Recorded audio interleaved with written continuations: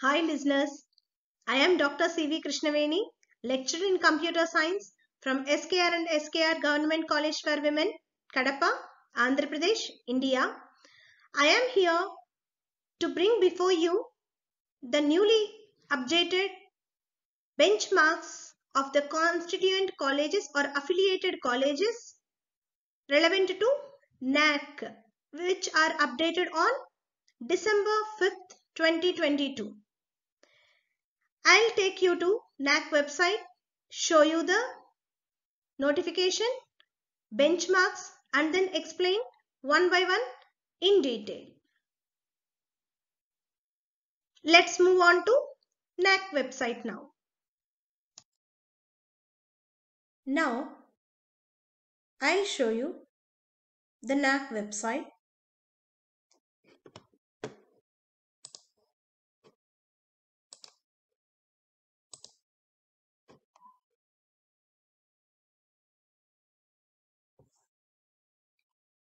Here is the notification. Let me come from the beginning.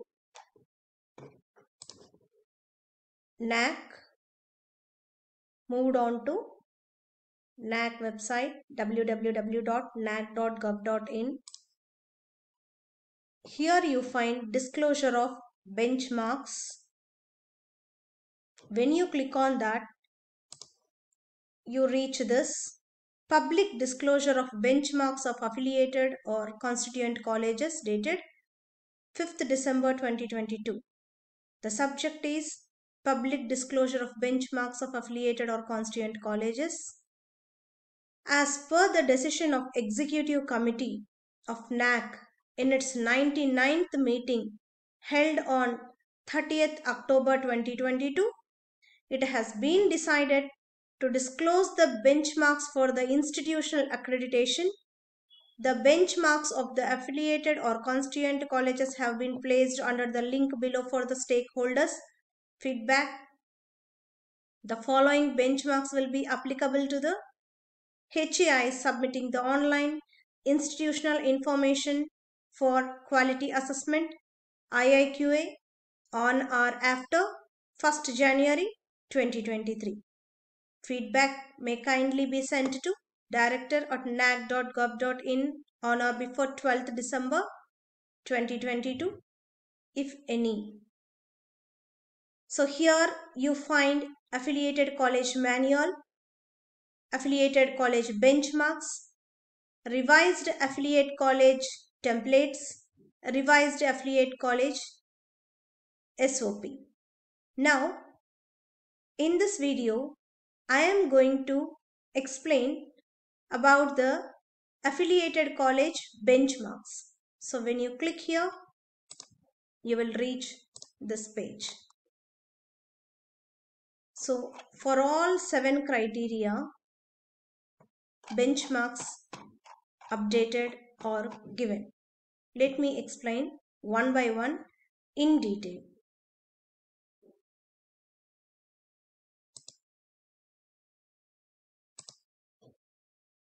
Recommended benchmark along with the earlier benchmarks for the QNMs, Quantitative Metrics of Affiliated or Constituent College Manual.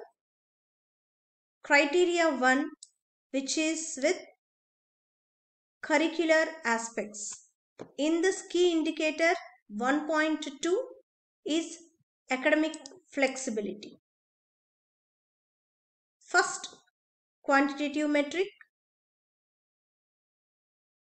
1.2.1 it is about number of add-on or certificate or value added programs offered and online MOOC programs like Swayam, NPTEL, etc. where the students of the institution have benefited during the last 5 years. If that is greater than or equal to 25, the scale is 4. If it is between 15 to 25, 3 is the score. 5 to 15, 2 will be the scale 1 to 5 then 1 if not 0 so in 5 point scale 0 1 2 3 4 with these number of courses number of programs offered if they are greater than or equal to 25 you will get 4 like that within this range 3 as explained earlier. Second metric is 1.2.2 percentage of students enrolled in certificate or add-on or value-added programs and also completed online MOOC programs like Swayam, NPTEL etc. as against the total number of students during the last 5 years. If that percentage is greater than or equal to 50 then in 5 point scale 0 to 4 you will achieve 4 if the percentage is between 35 to 50 then you will get 3 and for 20% to 35% the scale mark you get is 2 10 to 20% 1 and if it is less than 10% you will get 0. This is about the key indicator 1.2 academic flexibility. Coming to the next key indicator 1.3 curriculum enrichment 1.3.2 quantitative metric percentage of students undertaking project work or field work or internships and notice that this data is to be provided for the latest completed academic year. And if that percentage is greater than or equal to 35 you will get 4 if it is between 20 to 35 percent we get 3 10 to 20 percent means 2 5 to 10 percent is 1 and if it is less than 5% you will get 0. The next, the next key indicator is 1.4 feedback system. In this, the quantitative metric 1.4.1 is about institution obtains feedback on the academic performance and ambience of the institution from various stakeholders such as students, teachers, employers, alumni, etc. And action taken report on the feedback is made available on institutional website. In this, feedback processes of the institution may be classified as follows. A. To get A for 4. Feedback collected, analyzed, action taken and feedback hosted on the institutional website all must be done. Then you will get 4 for A. B. If only feedback is collected, analyzed and has been taken, action has been taken, then you will get B. B means for 3. 3 you'll, you'll get. If the feedback is collected and analyzed, then you'll get C. That is for C, you'll get 2. Then if simply feedback is collected at least from any two stakeholders which was explained here, that is from either alumni, teachers, employers and students, then it is D and you will get 1 and feedback is not at all collected. It is E and it, in the scale you will get 0 so this is about the first criteria curricular aspects benchmarks for quantitative metrics. Next I'll move on to criteria 2 teaching learning and evaluation. In this, Key indicator 2.1 is about student enrollment and profile. We will see one by one quantitative metrics now. In quantitative metric 2.1.1, if the enrollment percentage is greater than or equal to 80%, in 5 point scale from 0 to 4, you will get 4. If the percentage is between 60 to 80%, you will get 3.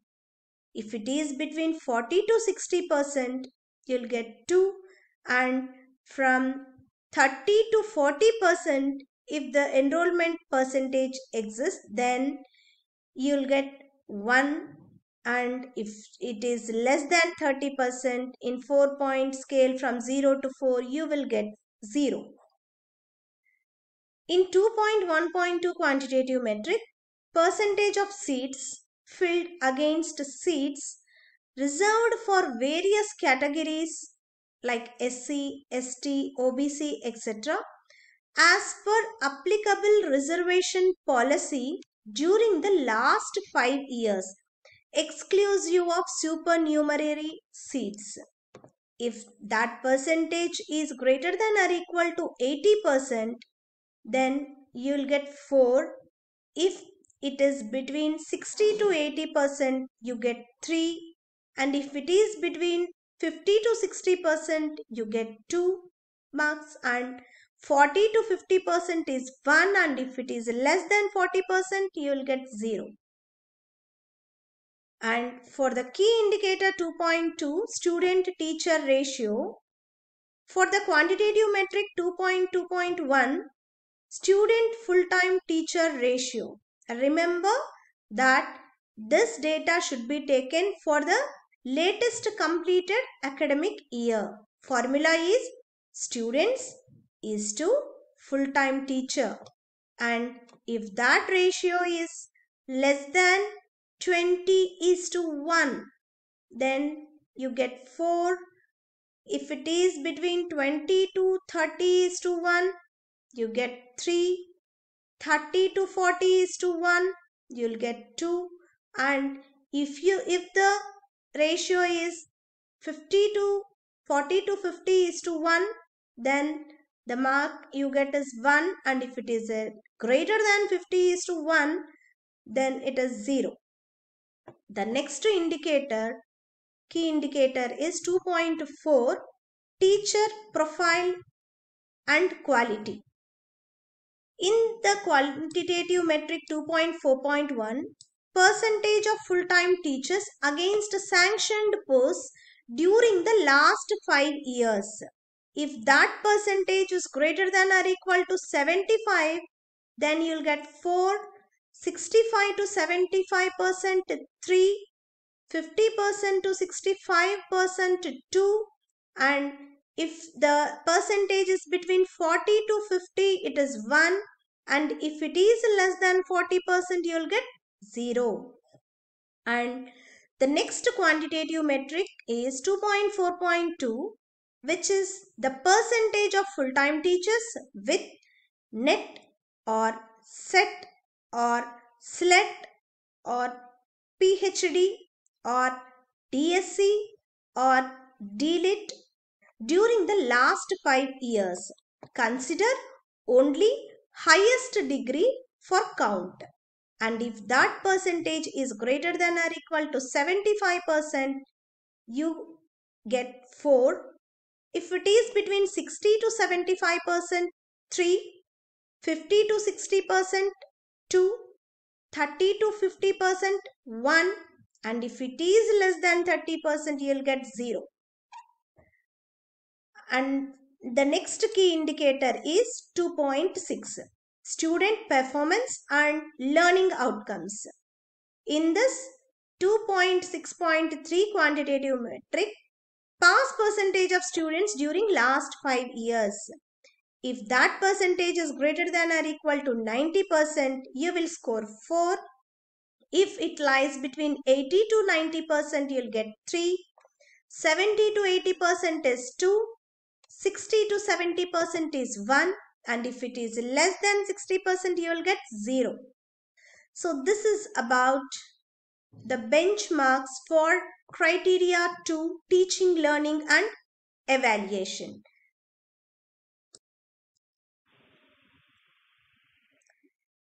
The next criteria is third criteria, research, innovations and extension. Key indicator 3.1 is about resource mobilization for research.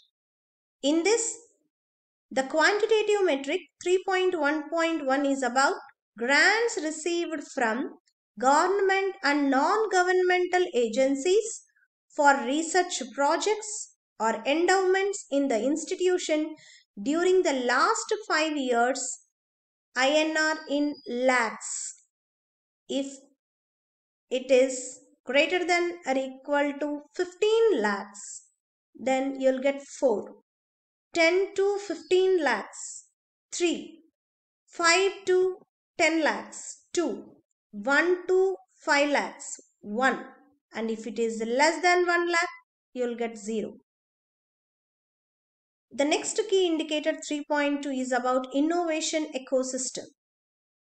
In this, the quantitative metric 3.2.2, the number of workshops or seminars or conferences including on research methodology, intellectual property rights, IPR and entrepreneurship conducted during the last 5 years.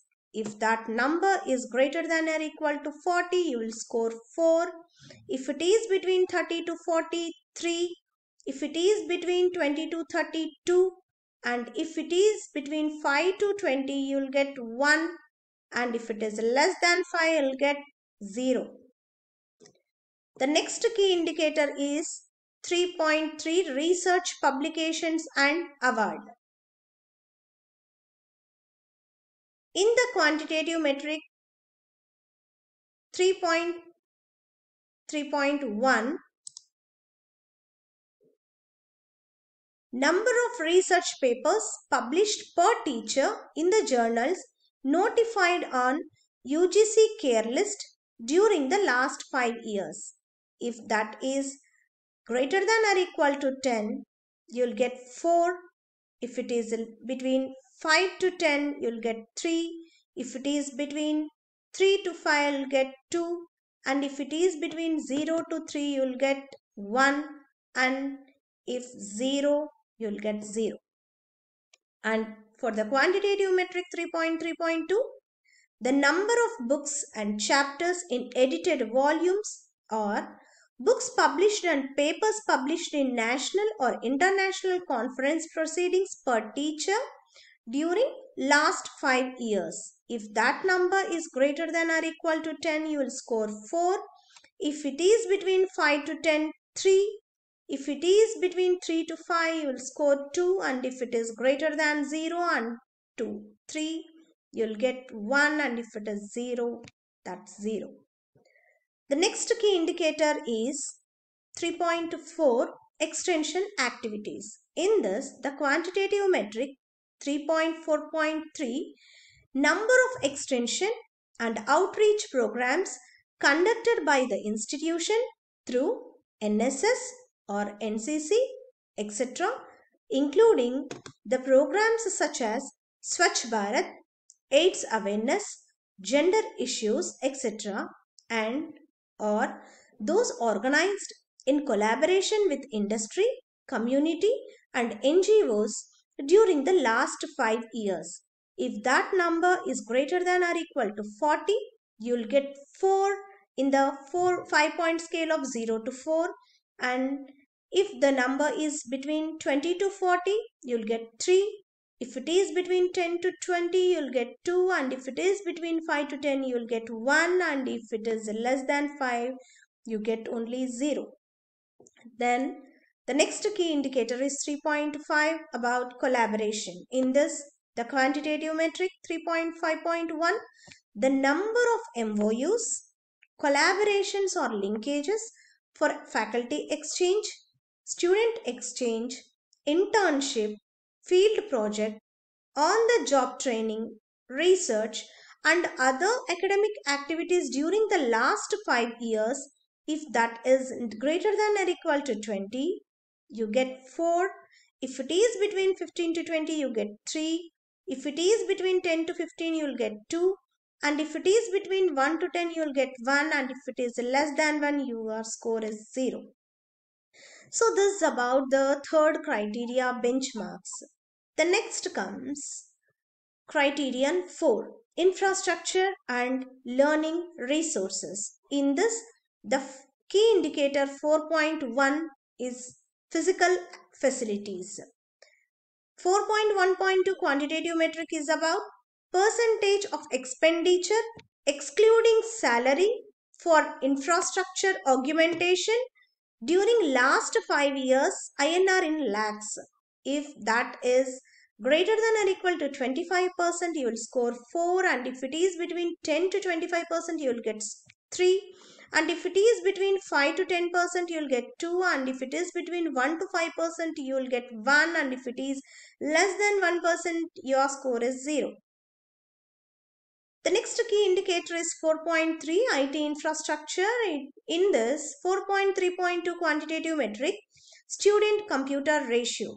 This data is to be provided for the latest completed academic year. If that ratio is less than or equal to 5 is to 1, you get 4. If it is between 5 to 15 is to 1, you will get 3.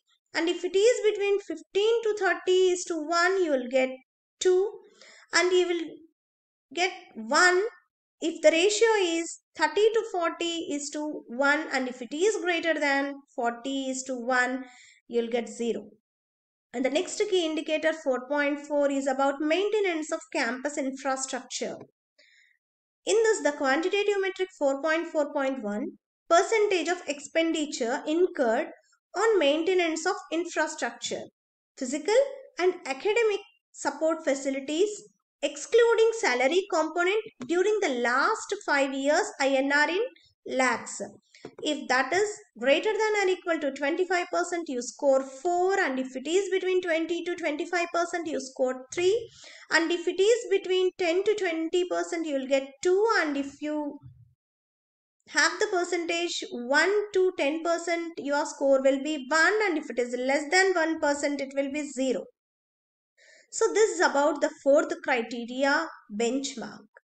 Next comes criteria 5 which is about student progression and sorry student support and progression. Key indicator 5.1 student support. 5.1.1 quantitative metric is about percentage of students benefited by scholarships and free ships provided by the government, non-government agencies and philanthropists during last 5 years. If that percentage is greater than or equal to 70%, you will score 4. If it is between 60 to 70%, you will get 3. And if it is between 50 to 60%, your score is 2. And if it is between 40 to 50%, your score is 1. And if it is less than 40%, you will get 0. The next Quantitative metric is 5.1.2 which is about capacity building and skills enhancement initiatives taken by the institution include the following soft skills, language and communication skills, life skills which includes yoga, physical fitness, health and hygiene, ICT or computing skills. So you will get a if all four are satisfied, B if three are satisfied, C if two are satisfied, D if one is satisfied here. And E if none is done and you'll get 0. 4 for A, 3 for B, 2 for C, 1 for D and 0 for E. The next quantitative metric is 5.1.3 percentage of students benefited by guidance for competitive examinations and career counseling offered by the institution during the last 5 years. If that percentage is greater than or equal to 40%, you will get 4. If it is between 30% to 40%, you will get 3. And if it is between 20 to 30% you'll get 2 marks and if it is between 5 to 20% you'll get 1 and if it is less than 5% you'll get 0.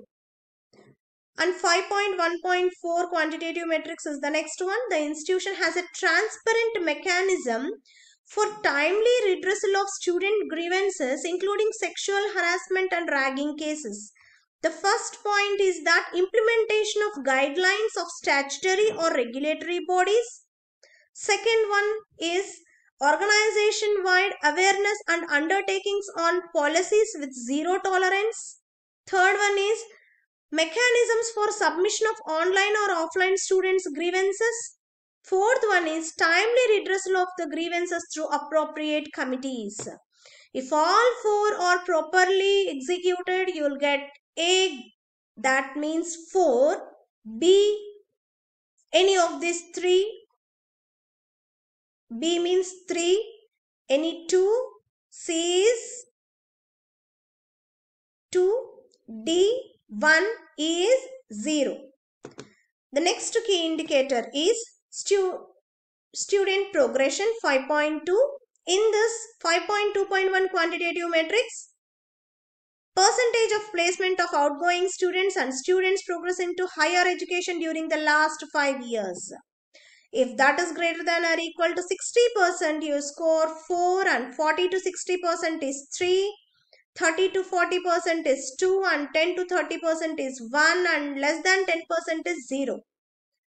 And the next quantitative metric 5.2.2 percentage of students qualifying in state, national, international level examinations during the last 5 year. For example, JAM, CLAT, GATE, GMAT, CAT, GRE, TOEFL, Civil Services, State Government Examinations. If that percentage is greater than or equal to 10%, you score 4, 7 to 10% 3, 4 to 7% 2, 1 to 4% 1 and less than 1% you will get 0. The next key indicator is 5.3 student and participation student participation and activities 5.3.1 number of awards or medals for outstanding performance in sports or cultural activities at university, state, national or international level. Award for a team event should be counted as one during the last 5 years. If that is greater than or equal to 30, you will get 4, 20 to 33, 10 to 22, 5 to 10, 1 less than 5 is 0.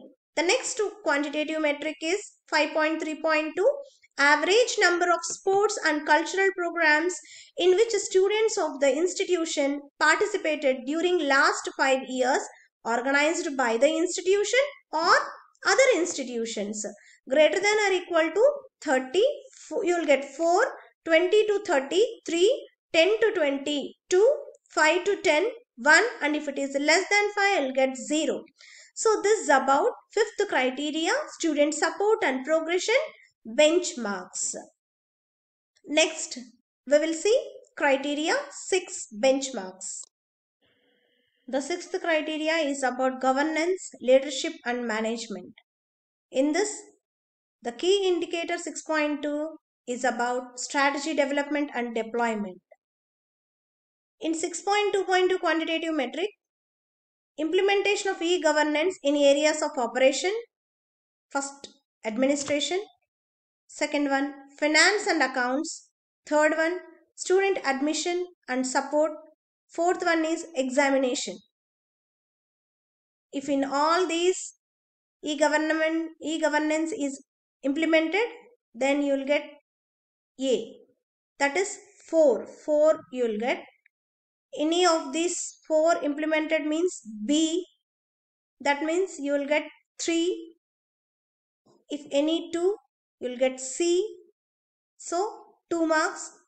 If in any one D is the grade given and you will get 1 mark and for none you will get E that is 0 marks.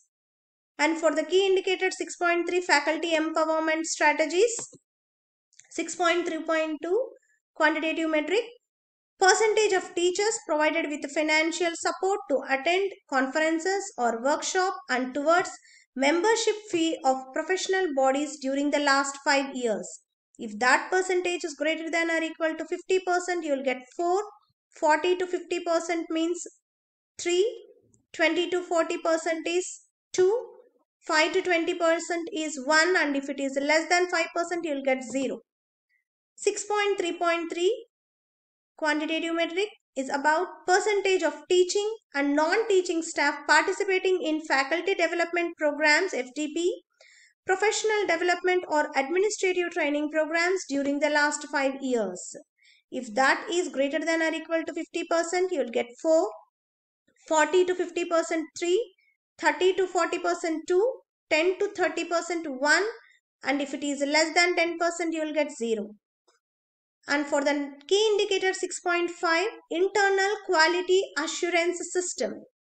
In this, 6.5.2 quantitative metric is about quality assurance initiatives of the institution include first one regular meeting of internal quality assurance cell IQAC feedback collected analyzed and used for improvements Second one is collaborative quality initiatives with other institutions or membership of international networks. Third one is participation in NIRF. Fourth one is any other quality audit or accreditation recognized by state, national or international agencies such as NAAC, NBA, ISO certification, etc.